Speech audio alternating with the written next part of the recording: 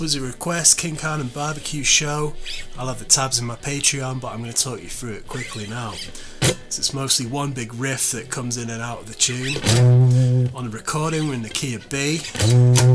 I'm going to break it down into little chunks. So the first little bit, we're going to grab the 7th fret and the low E string. And we're going to hit it twice, and we're going to do a little major triad. So that's your first little move. Next up we got this little got that little move there. So I'm doing a double stop there on the D and G strings on the seventh fret. A couple of hits. And I'm going to jump between that and the ninth fret on the A string. Like that. To end it, we're going to do some more double stops on the 7th frets and the 9th frets there on the B and G strings. So you got that's your first kind of chunk. Now we're going to do a little Chuck Berry. Going to do that three times. So bend double stop there on the seventh fret. So bend the ninth on the G, two double stops on the B and E, three times. Then we're going to do this little rockabilly move,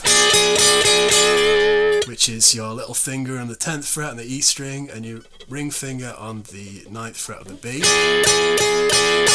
Do that for like a bunch of time. you do it for a while. Uh,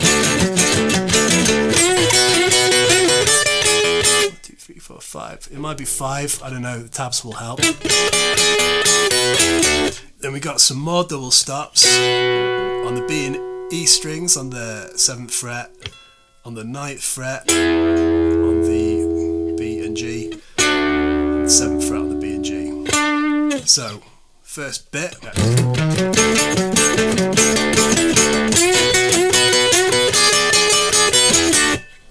That's first bit.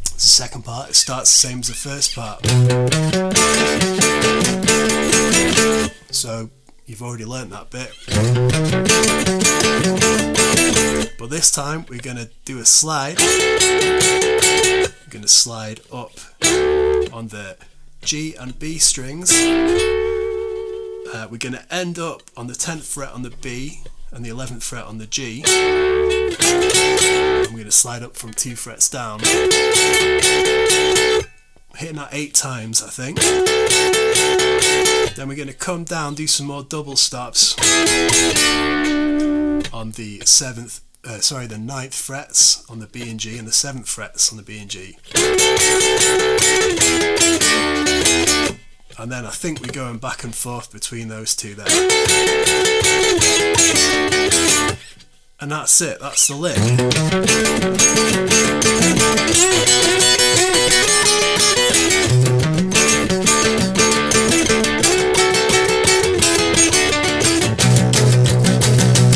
Like I say, the tabs are in the Patreon.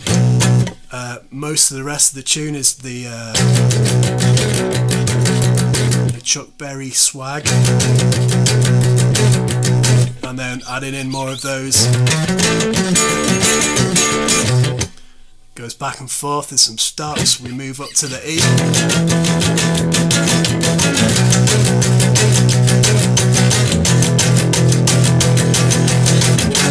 Uh, and then we go up to the F sharp. I've seen them doing live videos where they're playing in different keys. They do what they want, that's fine.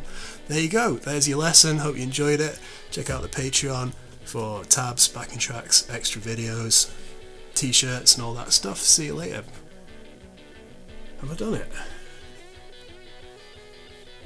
I think I've done it.